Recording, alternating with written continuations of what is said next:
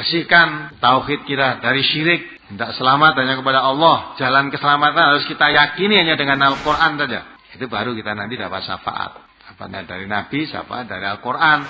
Dengan izin Allah maksudnya, dengan kehendak Allah. Memang Allah menghendaki kita mengikuti Al-Quran, kita mengikuti Nabi, itu dikehendaki oleh Allah selamat. Tapi kita berpaling dari Al-Quran, berpaling dari surah Nabi, dikehendaki Allah kita akan sesat. Menjaluk syafaatnya Nabi kok ngetut ke kebu. Tanggal satu surah nanti udah mubeng-beng ngetut ke kebu. Lah kok jaluk syafaatnya Nabi, jaluk syafaat kebu. Tidak syafaatnya kebu nanti ya. Tidak akan dapat itu. Kalau kita masih ada terbentik sedikit saja punya kerja bulan Muharram satu surah itu angker akan tidak selamat syirik sholat murah kanggu hajine map mardut jangan harapkan haji mabrur mardut tertolak Nah kok ngerti? Allah yang mengatakan. Karena itu perbuatan syirik. Sedang syirik itu merusak semua amal kebaikan. Allah tidak mengampuni dosa syirik. Di samping itu merusak amal-amal yang lain.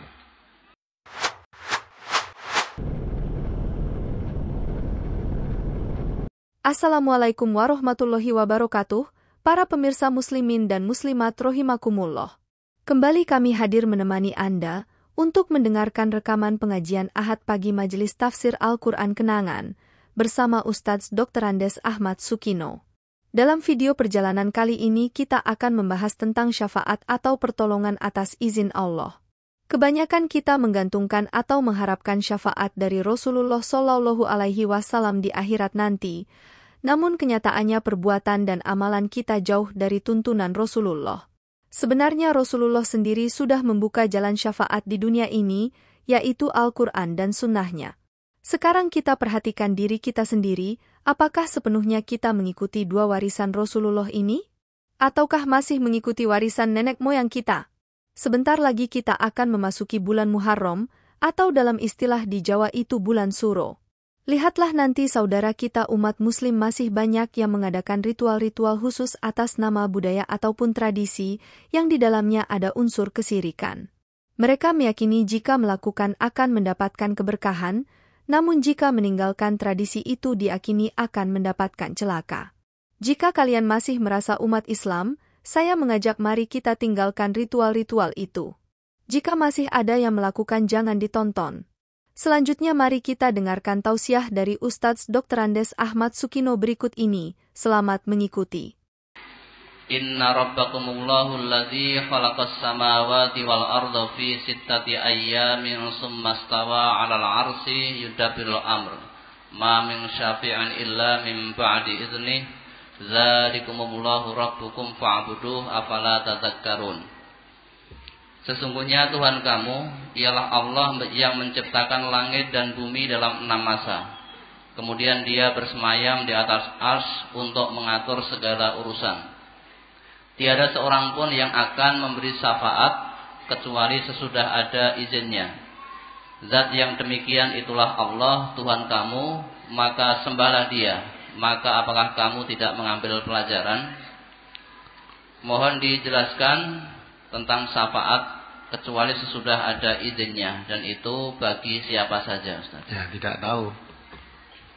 Jadi orang kalau menurut ayat yang lain Allah mengatakan ya, tidak ada syafaat yang bisa bermanfaat. Ya, ada yang bisa bermanfaat. Coba dibaca ulang itu. Surat Al-Baqarah. Surat Al-Baqarah ayat 48. A'udzu billahi minasyaitonir rajim. Wattaqu yawman la tajzi nafsun an nafsin syai'an wa la yuqbalu minha syafa'atun wa la yu'khadhu minha 'adlun wa la hum yunsharun. Dan jagalah dirimu dari azab hari kiamat yang pada hari itu seseorang tidak dapat membela orang lain walau sedikit pun dan begitu pula tidak diterima syafaat dan tebusan daripadanya dan tidaklah mereka akan ditolong. Ya. Ayat lagi 123 pada 100 hampir Al-Baqarah juga ya. Hampir sama punya wattaqu yaumal la tajin nafsun nafsa sa'am wala yuqbala min 'adlun wala tanfa syafa'atun. Ayat 123 Al-Baqarah Tajzi nafsun an nafsin syai'an wa la yuqbalu minha 'adlu wa la tanfa'uha syafa'atu wa la hum yunsarun. Dan takutlah kamu kepada suatu hari di waktu seseorang tidak dapat menggantikan seorang lain sedikit pun dan tidak akan diterima suatu tebusan daripadanya dan tidak akan memberi syafaat sesuatu syafaat kepadanya dan tidak pula mereka akan ditolong. Hmm, ya kan? Jadi kita supaya takut pada suatu hari yang pada hari itu tidak dapat menggantikan seorang menggantikan orang lain. Nah, di samping itu seorang lain tidak akan bisa mendapatkan atau menerima tebusan. Ya, tidak akan menerima tebusan sebagai pengganti. Di ayat lain diterangkan dalam surat Al-Imran 91, sekalipun kamu menebus dirimu dengan emas sepenuh bumi untuk membebaskan dirimu dari adab Allah tidak akan bisa. Ditambah lagi di situ tidak ada yang memberi syafaat, tidak ada manfaat siapa yang akan memberi syafaat sedikit pun jadi tebusan tidak bisa, mengganti orang lain tidak bisa, syafaat yang bermanfaat pada dirinya tidak ada. Di, di akhir ayat itu walahum yungsarun, tidak akan ada penolong. Tidak akan ditolong lagi sudah. Maka jangan menggantungkan pertolongan orang lain. Orang selamat dan tidak tergantung amalnya sendiri. Jangan menggantungkan atau menjaga ke syafaat. Diterangkan di situ wala tanfa'uha syafaatun. Tidak ada manfaat. Syafaat tidak ada manfaat. Orang biasanya mengharap-harap syafaat dari Nabi, Nabi Muhammad sallallahu alaihi wasallam. Besok di akhirat sana. Ya. Nah, kalau kita menginginkan syafaat dari Nabi, sudah berkali saya terangkan, jangan mengharapkan di akhirat sana. Tapi mulai sekarang ini, kalau kita inginkan mendapatkan syafaat, Al-Qur'anu syafi'un musyafaun. Ya. Al-Qur'an itu penolong ya. Syafaat itu kan nolongan, nolong orang lain, kita meringankan. Itu syafaat itu pertolongan. Al-Quran itu sebagai penolong dan diterima pertolongannya. Tentang terima. Lah kalau kita ingin mendapat syafaat dari Al-Quran itu, ya, kita pelajari, kita kaji, kita pahami, kita amalkan dalam kehidupan. Nah kita bisa selamat. Selamatkan ini karena berkat mendapat syafaat dari Al-Quran. Pertolongan dari Al-Quran. So andai kata bukan karena Al-Quran kita tidak mengetahui jalan yang lurus. Wa ingkanu min qablu lafi dhalalim mubin. Sebelum Quran diturunkan manusia dalam keadaan kesesatan yang nyata. Maka dengan Al-Quran kita mau memahami, mempelajari, dikeluarkan dari jalan sesat tadi ke jalan selamat. Ya. Dikeluarkan dari gelap gulita ke terang benderang. Ya, seperti firman Allah itu, Ya ahlal kitab, Qad ja'akum rasuluna yubayyinu lakum kasiram mimma kuntum tuhfuna minal kitabi wa ya'fu an kasir. Qad ja'akum minallahi nurun wa kitabum mubin. Ya, Quran maksudnya kitab mubin. Fungsinya apa? Yahdi bihillahu manittaba'a ridwanahu subula salam. Memberikan manusia ini dengan keridhaan Allah ke jalan keselamatan. Wa yukhrijuhum ilan nur. Mengeluarkan manusia dari gelap gulita ke terang benderang dengan izinnya, dengan izin Allah. Wa yahdi mustaqim, menunjukkan manusia ke jalan yang lurus. Maka dengan kita meyakini, mempelajari, mengamalkan itu dapat syafaat dari Al-Qur'an itu, selamat kita. Jadi kalau kita ingin mendapat syafaat dari Al-Quran, jangan jaga ke di akhirat. Di sini kita pelajari, dituntun. Hmm, jalan yang lurus itu. Maka kalau kita ingin dapat syafaat dari Nabi, terimalah apa yang diajarkan dari Rasulullah. Apa yang disampaikan dari Rasulullah itu kita pahami, kita pelajari, kita amalkan dalam kehidupan. Lah kita mendapat syafaat, pertolongan. Pertolongan apa? Karena ditolong oleh Nabi dengan menyabarkan kebenaran, menuntun jalan yang lurus, kita mendapat pertolongan. Jangan sampai kita diajak mengikuti tuntunan Rasulullah, diajak mengikuti Al-Quran, jawabnya ya, hanya mengikuti apa yang kami dapati, bal nattabi'u alfaina alaihi apa ana tidak tidak usah mengikuti Quran, tidak usah mengikuti Nabi. Saya akan mengikuti apa yang diwariskan dari nenek-nenek moyang kita dulu. Lah kalau itu yang kamu jalani, jangan harapkan syafaatnya Nabi. Hmm? Jangan harapkan syafaat Nabi. Nabi tidak menuntunkan seperti itu. Nah kalau kita menginginkan mendapat syafaat Nabi, tinggalkan itu. Ajaran-ajaran yang keliru, yang sesat, walaupun itu sudah diwarisi, diwariskan dari nenek moyangmu. Sedang yang diwariskan Nabi, yang akan mendapatkan syafaat pertolongan dari Nabi itu, dua perkara, yaitu Al-Quran dan Sunnah. Taraktu fikum amreni lantadillu ma masaktum bihima. Kitab Allah wa sunnatan nabihi. Itu berulang kali diterangkan di sini ya. Jadi kalau kita menerima warisan yang diwariskan Nabi dijamin akan selamat. Tidak akan sesat. Karena dalam Quran sendiri itu juga mengatakan ya nah, Fa imma ya'tiyannakum minni hudam famanittabah hudaya fala yadillu wala yasqa. Mengikuti petunjuk Al-Quran ini dijamin tidak akan sesat, tidak akan celaka. Waman arodo andikri fa innalahu ma'isyatan dongka wa nahsuruhu yaumal qiyamati a'ma. Ya. Itu juga karena apa? Karena mengingkari Al-Quran. Kalau kamu mengikuti petunjuk Al-Quran ini, dijamin kamu mendapat syafaatnya dari Al-Quran. Kamu mendapat syafaatnya dari Nabi, karena yang mengajarkan Al-Quran kepada kita itu Nabi. Maka akan selamat dijamin tidak sesat dan tidak akan celaka. Layadillu walayaspo. Tetapi ingat, waman arodo, kalau kamu berpaling, melengos, tidak mau menerima jalan Al-Quran yang disebarkan oleh Nabi ini, fa innalahu ma'isyatan dongka. Kamu akan menemui kehidupan yang sempit. Itu di akhirat, di dunia. Di dunia pun akan menemui kehidupan yang sempit. Di akhirat wa nahsuruhu yaumal qiyamati a'ma. Nanti dikumpulkan di akhirat nanti dalam keadaan buta. Ini ya. Maka kalau kita ingin mendapat syafaat dari Nabi, syafaat dari Al-Quran, mulai sekarang ini kita pelajari Al-Quran, kita amalkan dalam kehidupan. Bersihkan tauhid kita dari syirik. Tidak selamat hanya kepada Allah. Jalan keselamatan harus kita yakini hanya dengan Al-Quran saja. Itu baru kita nanti dapat syafaat.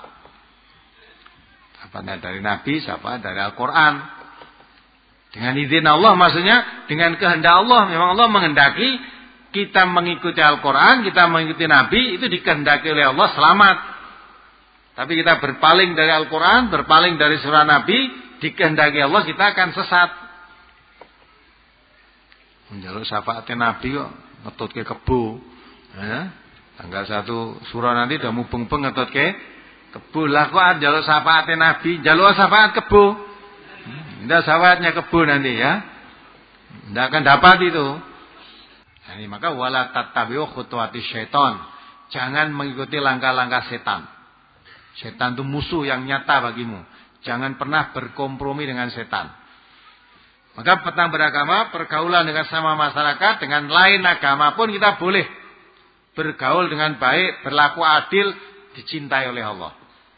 Tapi kalau sudah mereka memusuhi kita, menghina kita, memperolok-olok kita karena Islam, apalagi sampai mengusir, tarik garis, jangan berkawan dengan mereka.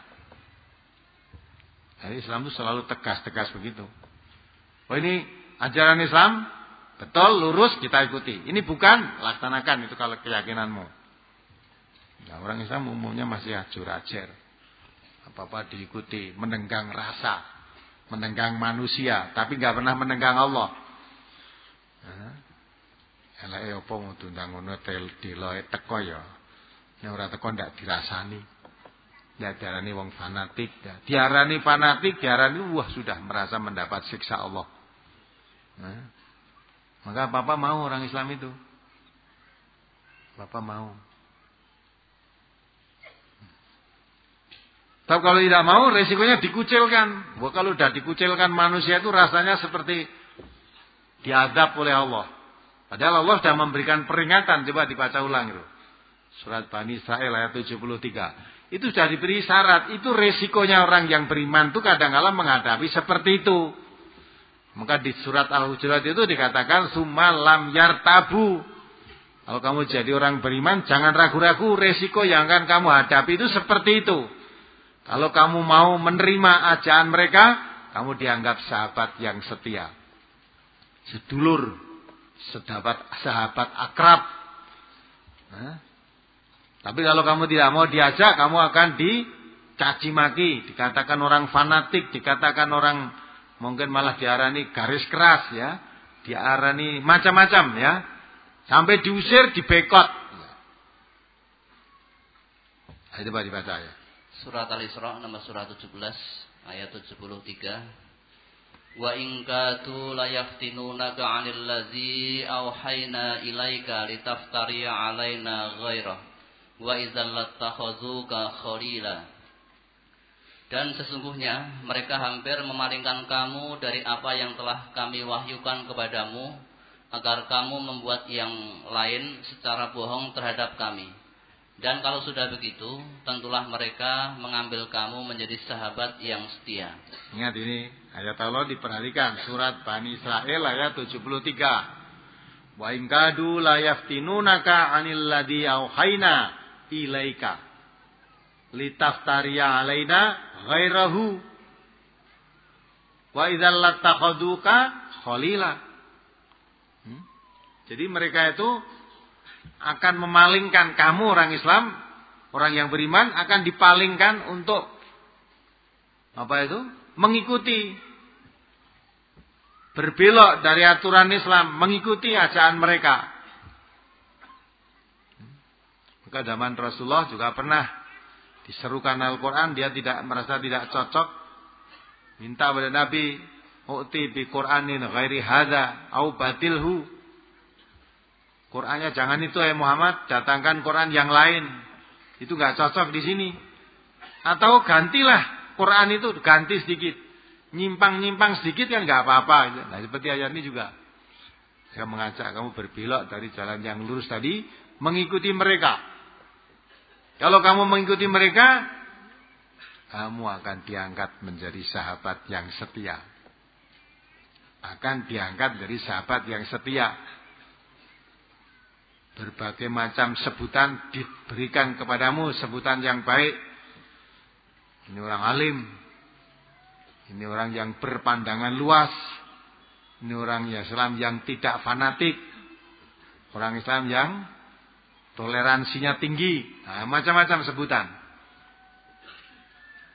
Tapi ingat, ayat berikutnya 75, langsung 75.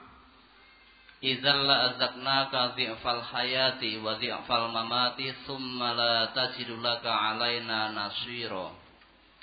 Kalau terjadi demikian, benar-benarlah kami akan rasakan kepadamu siksaan berlipat ganda di dunia ini dan begitu pula seksaan berlipat ganda sesudah mati dan kamu tidak akan mendapat seorang penolong pun terhadap kami. Pilihlah sekarang. Kamu mengikuti mereka diajak menyimpang dari ajaran Islam secara benar, diajak menyimpang dari kebenaran, kamu diangkat menjadi sahabat yang setia. Tapi ingat, kalau kamu menjadi sahabat yang setia karena diajak menyimpang dari kebenaran tadi kamu mau, ancam oleh Allah diberikan siksa yang berlipat ganda di dunia maupun sesudah mati nanti di akhirat. Kemudian sumala tajidulaka alaina siro. Kamu tidak akan dapat penolong. Kalau Allah mendatangkan adabnya, kamu tidak akan dapat penolong. Maka menyimpang dari tauhid, menyimpang dari kebenaran ajaran Islam ini menyebabkan datangnya adab yang berlipat-lipat. Baik di dunia maupun di akhirat. Maka kalau kita cermati ya, mengapa bangsa kita ini bertubi-tubi bencana. Satu bencana belum selesai, datang bencana lagi. Bencana belum selesai, datang. Seolah tidak pernah tahun kosong dari bencana. Selalu ada saja. Kalau kita mau mencermati ayat ini, mestinya tanda tanya. Mungkinkah cara beragama ini sudah berbelok dari tauhid yang benar? Mungkinkah kita itu diajak menyimpang dari kebenaran, dari tuntunan Allah mudah saja asal mendapat simpati dari manusia, tapi tidak ingat adab Allah yang begitu berat berlipat ganda tadi. Ya, Allah katakan, kalau terjadi demikian, Benar-benarlah kami akan rasakan kepadamu siksaan berlipat ganda di dunia ini. Begitu pula siksaan berlipat ganda sesudah mati, maksudnya di akhirat nanti. Dan kamu tidak akan mendapat seorang penolong pun terhadap kami. Hmm. Kalau dirasa-rasakan memang betul. Dalam cara beragama kita katanya iya karena budu wa iya karena stain hanya kepadamu ya Allah aku menghambakan diri hanya kepadamu aku mohon pertolongan. Kalau kamu ingin selamat, nah, ya, kalau kamu ingin selamat, jangan punya kerja di bulan suro ini. Nah, bab suro ini bulan begini-begini, lah macam-macam. Kalau kamu ingin selamat, malam tanggal satu nanti ikuti giring ke bule itu. Kalau kamu ingin dapat berkat, ikuti tawaf di Mangkunegaran nanti. Malam satu surah, tawaf. Keliling Mangkunegaran. Itu sebagai gantinya haji. Barang siapa yang tidak mampu ibadah haji ke Mekah, cukup tawaf di Mangkunegaran. Nah, kalau ada ucapan-ucapan semacam itu, itu ucapan yang dihembus-hembuskan tanpa dasar kebenaran. Coba dibaca. Surat Luqman ayat 6. Surat Luqman ayat 6. Surat Luqman nomor surat 31 ayat 6 Wa minan nasi may yashtari lahwal hadithi liyudilla an sabilillahi bi ghairi ilm wa yattakhidhaha huzwa ulaika lahum azabum muhin Dan di antara manusia ada orang yang mempergunakan perkataan yang tidak berguna untuk menyesatkan manusia dari jalan Allah tanpa pengetahuan dan menjadikan jalan Allah itu olok-olokan. Mereka itu akan memperoleh azab yang menghinakan. Ya kan? Itu ada riwayatnya. Jadi orang-orang kafir pada saat itu membayar orang untuk menceritakan, membuat dongeng-dongeng palsu ya, supaya menarik orang yang sudah masuk Islam itu bisa keluar dari agamanya atau paling tidak bisa terkecoh, bisa meyakini itu. Buat dongeng-dongeng palsu. Maka ini juga begitu kan? Berapa banyak orang Islam yang tersesat dengan dongeng-dongeng palsu. Bagaimana riwayatnya dulu sampai orang punya kerja di bulan surah tidak berani. Bagaimana riwayatnya dulu sampai orang menganggap bulan surah itu angker. Bagaimana riwayatnya dulu sampai orang ya membiarkan membiarkan dagangannya sayur-sayur dan sebagainya kalau dimakan kebu merasa mendapat berkah. Bagaimana riwayatnya dulu itu dongeng-dongeng palsu semua itu. Hmm. Untuk menyesatkan manusia dari jalan yang lurus. Nah, orang yang dapat disesatkan hanya orang-orang yang tidak tahu tentang agama. Tidak paham tentang aturan Islam. Tidak merasa cukup hanya dengan Islam manusia itu bisa selamat. Hmm. Maka itu membuat cerita menggunakan perkataan yang tidak berguna untuk menyesatkan manusia dari jalan Allah tanpa pengetahuan. Jadi dongengnya pun dongeng ngawur tanpa dasar kebenaran. Atau kalau namanya kita dasar kebenaran, kebenaran itu hanya sumbernya dari Allah. Al-haqqu mirrabbikum. Benar itu dari Tuhanmu. Sekalipun manusia semua menganggap benar, kalau itu menurut pandangan Allah salah, salah. Sekalipun manusia menganggap salah, kalau itu menurut pandangan Allah benar, itu yang benar. Karena hakikat kebenaran itu dari Allah. Berapa banyak orang Islam yang terseret ke sana. Maka setelah saya selaku pimpinan MTA ini saya menganjurkan, saya tekankan, jangan ada malam tanggal 1 Suro nanti warga MTA yang ikut tampak ya, ujung hidungnya nanti di sana. Hmm, jangan sampai ada yang tampak. Jangan ikut pemangku negara, jangan ikut giring kebu ya toh. Jangan sampai ada, ini syirik. Ya, kalau menurut tuntunan Islam itu agama Islam syirik. Kalau menurut itu kebudayaan keraton dan sebagainya silakan mereka. Tapi saya sebagai pimpinan yang saya ajarkan Al-Quran dan Sunnah itu perbuatan syirik. Kita tidak mengganggu. Tadi sudah dikatakan lakum dinukum waliyadin. Kita bergaul boleh dengan baik, serawung dengan baik, berlaku adil. Tapi dalam masalah ini tarik garis. Oh keyakinanmu begitu, silahkan kamu begitu. Saya tidak yakin seperti itu akan bawa keselamatan, maka saya tidak usah ikut. Tidak usah ikut, tidak usah ngelek-elek. Biarkan mereka jalan, kita jalan lakum tinukum waliyadin. Yang meramaikan itu juga orang-orang Islam sendiri. Tahun baru nanti. Setelah itu tahun baru Januari. Setelah tahun baru Hijriah, tahun baru Masehi Januari nanti. Ya dah? Kita tidak ada tuntunan merayakan tahun baru Islam. Tahun Hijriah itu juga tahun baru Masehi tidak ada tuntunan. Gunakan setiap tahun baru itu kita jadikan untuk muhasabah. Menghitung-hitung. Hasibu qabla antu hasabu. Wazinu qabla antu zanu. Ya, hisaplah, hitunglah amalmu sebelum dihitung oleh Allah nanti. Timbang-timbanglah amalmu sebelum ditimbang oleh Allah nanti. Berapa hari lagi kita sudah ganti tahun. Selama tahun yang lalu ini cara berdagang itu saya untung apa rugi.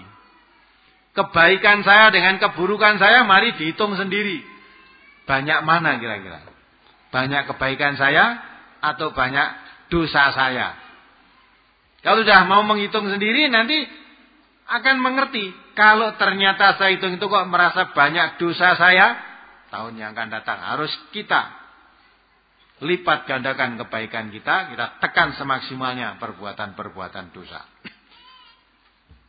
Itu yang yang beruntung, maka dijadikan tahun baru itu jadikan momentum untuk mawas diri, menghitung-hitung amal, menghitung-hitung kebaikan, menimbang-nimbang amal sendiri.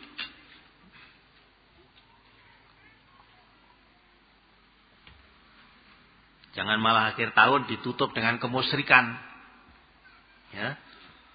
Jangan ditutup dengan kemusyrikan. Begitu kamu berbuat kita berbuat musyrik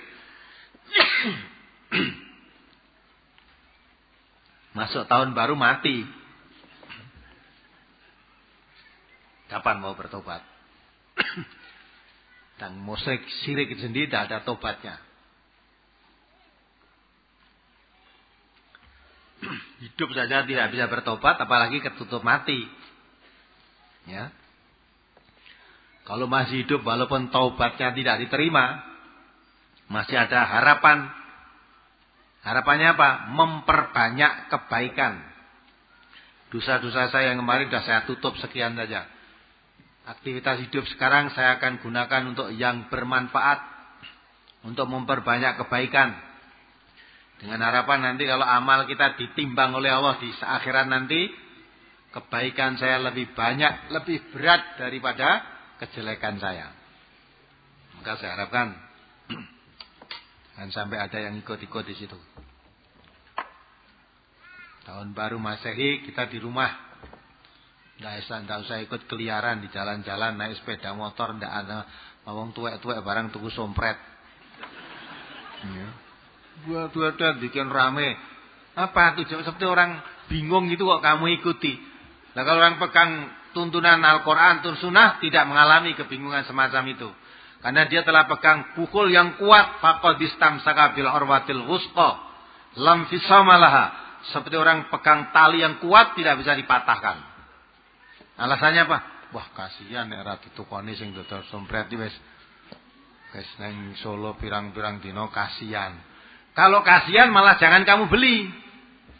Ya, kalau tidak kamu beli, tahun berikutnya dia tidak akan jual lagi. Karena tidak laku. Samping itu tuh meramaikan saja. Ya, meramaikan suasana. Kalau dilihat dari tuntunan agama Islam, tidak ada benarnya sama sekali itu. Maka kita sebagai orang Islam tidak menghalangi mereka mau jualan, jualan silahkan. Mau ikut giring kebumu penguang silahkan. Tapi kami sebagai orang Muslim, akidah saya biar lurus, biar tidak tercampur hal yang syirik, saya akan tidak keluar. Sehingga tidak keluar, saya tidak akan beli sompretmu, saya tidak ikut itu. Wah, bareng wong Islam dora metu sepi. Hmm, sing ke kemusyrikan ya wong Islam-Islam itu, hmm. Sekali ini kamu tidak keluar, sing jual sompret hitung-hitung, so jual lagi apa ndak. Nah. Yo, jadi demi keselamatan, justru itu keselamatan mereka dan keselamatan kita sendiri, akidah kita sendiri. Maka dari diumumkan Majelis Ulama Indonesia Sukoharjo nanti malam kan, nanti malam mengadakan tablik kabar Kemudian yang disuruh ngisi saya di Masjid Agung nanti malam habis Isya. Saya juga akan tekankan maunya tabligh kabar itu mengalihkan orang-orang jangan ikut ngiring kebu, jangan ikut. Jojo bareng ngaji malah do. Nah, pas mulai ngaji pas rame-rame nih kuwi. Wong sing ngaji omahe nguter, omahe ha, mulur lah kok mulie yang ngalor tekan Solo iki genah iki ya Nah, kalau sampai begitu Percuma muspro oleh mengaji nggak ada apa-apanya. Hmm. Ya, tuh bro, saya merasa berkewajiban untuk menyampaikan itu. Ewat ini sudah saya sampaikan nekat. Kamu begitu bukan urusan saya. Nah, Nabi pun tidak bertanggung jawab atas itu semua. Tapi Allah menjadi saksi bahwa ini sudah saya sampaikan. Perkara nekat terserah. Nah, besok yang ngunduh ya kamu sendiri. Mudah-mudahan ya apa yang saya sampaikan tadi paham. Di dalam surat Luqman ayat 6 tadi, jangan kita mengikuti cerita-cerita yang tanpa dasar kebenaran. Apalagi cerita katanya, menurut cerita ini ya, bulan Suro, bulan Muharram ini Katanya bulannya Nyai Roro Kidul. Nah itu, itu kan menjual ayat, menjual cerita tanpa dasar kebenaran. Padahal yang menetapkan tahun Hijriah itu siapa? Waktu itu siapa? Khalifah, anu, sahabat Umar bin Khattab, Khalifah bin Khattab. Umar bin Khattab tidak kenal namanya Nyai Roro Kidul, tidak kenal. Nah, kau tuh mbok gabungke karo Nyai Roro Kidul ketemu pirang perkara. Ya, karena bulannya Nyarek itu sudah di bulan angker. Ya. Jodoh duwe gawe. Ki lagi bulan iki tinggu gawe digawe karo Nyai Roro Kidul. Nanti kalau kamu bersamaan dengan itu nanti tidak selamat. Lah, padahal nek salat jare iya karena butuh wa iya karena stain. Kok akhirnya nurut cerita-cerita kosong yang tanpa dasar kebenaran, makanya harus ditinggal. Kalau kita masih ada terbentik sedikit saja punya kerja bulan Muharram satu surah itu apa? Angker akan tidak selamat, syirik, salat ora kanggo. Hajine mardut. Jangan harapkan haji mabrur, mardut. Tertolak. Nah kok ngerti? Allah yang mengatakan karena itu perbuatan syirik, sedang syirik itu merusak semua amal kebaikan. Allah tidak mengampuni dosa syirik, di samping itu merusak amal-amal yang lain. Maka warga MTA saya anjurkan, kalau mau punya kerja sekarang ini mumpung. Eh? Surah, praktekkan. Jadi aja kok surah ora apa-apa. Ayo dipraktekkan. Idza binafsik mulai dari dirimu sendiri. Aku ora butuh digawe surah ning aku yakin surah ora apa-apa. Nek aku kepengin duwe gawe sok besar. Apa sok? Pak do mulut atau sok mula itu itu masih terselip di sini. Ya, warga NTA besok ada tanggal satu itu ada tiga kalau nggak salah warga NTA dari Masaran sana ada satu, dari Pajang satu, mantan itu Pilang satu ya. Jadi semua dipaske bulan Suro ini. Hmm. Ajang juga ada ya. Itu hancur kan pas itu. Jadi jangan sampai lampu lewat ini pas wi masuk angin mantene ya toh. Nah, itu ada juga suara-suara lah ngantel ora kalau. Nah, Pasal surah wani-wani masuk angin udah. Ya, tapi kalau dia masuk angin itu tidak pas bulan surah ora popo. Maling-maling lu mampungi pokokean melek toh. Ya. Pak mampungi ora ndang turu, lah saiki wis sarapan apa urung sing digoleki ngono. Ning gandeng kuwi pasar surah ora digoleki kono, digolekine lho delokan kuwi. Mula jawani ndek gawe sasi suro. Eh sereng buktine nyoto gitu loh. Nah, itu cerita ngomong kosong. Maka kita harus berantas kepercayaan-kepercayaan itu harus kita berantas dari dirinya sendiri, jangan memberantas orang lain. Orang lain masih begitu biar, tetapi kewajiban kita memunculkan yang hak, menyampaikan kebenaran. Kalau yang hak itu kita munculkan lama-lama yang batil hilang. Kalau orang takut dengan muharam, kita awali, kita menjadi contoh. Nah, kalau ternyata sudah banyak warga MTA punya kerja sasi suro, sasi suro kabeh, Wah, bayi ora apa-apa, malah anaknya dokeh-okeh. Nah, ya. nah, begitu itu akhirnya orang kan punya kerja bulan Muharram, ora apa-apa kalau kaya, ora apa-apa kaya, ora apa-apa gitu. Nah. Tapi kalau kamu tanya dukun, ya kaya ora apa-apa, dia masih bisa nerangkan. Lah kayak ilmune luwih abot, luwih kuat. Ya, dia punya dekeng kuat itu, sudah punya dekeng. Nek kowe rong dekeng, ya jawani-wani, ya. Nah, itu termasuk omongan yang menyesatkan manusia tanpa dasar kebenaran seperti dalam surat Luqman tadi, ayat 6 tadi. Hmm, maka dari itu jangan sampai kita ikuti. Hmm, kalau kita mengikuti begitu, ya percuma kita. Percuma kita menjadi orang Islam masih takut. Sedang bulan Muharram itu katanya tahun baru Hijriah, malah kita umat Islam takut. Demikianlah para pemirsa, Baru saja kita simak pengajian tanya jawab kenangan bersama Ustadz Dr. Andes Ahmad Sukino dalam acara pengajian Ahad pagi Majelis Tafsir Al-Quran. Pembahasan tentang syafaat Rasulullah Shallallahu Alaihi Wasallam yang kita tunggu-tunggu di akhirat nanti. Namun kenyataannya perbuatan kita jauh dari tuntunan Rasulullah.